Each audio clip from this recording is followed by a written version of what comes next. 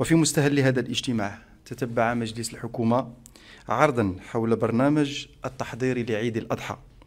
قدمه السيد محمد صديقي وزير الفلاحة والصيد البحري والتنمية القروية والمياه والغابات.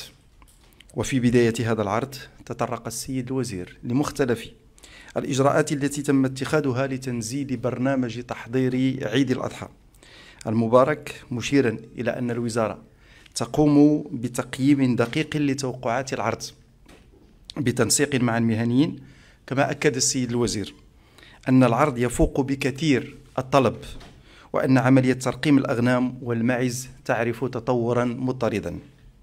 وفيما يتعلق بالجانب الصحي أكد السيد الوزير أن الحالة الصحية للقطيع الوطني جيدة بفعل التتبع والمراقبة الصحية وحماية القطيع من الأمراض المعدية.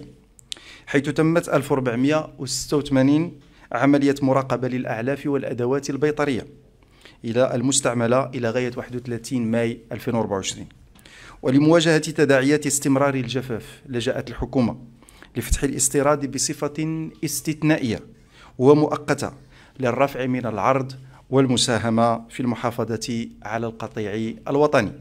قبل المغادرة لا تنسوا الاشتراك في قناة العمق المغربي وتفعيل الجرس ليصلكم كل جديد. ولا تنسوا مشاركة الفيديو والضغط على زر الإعجاب.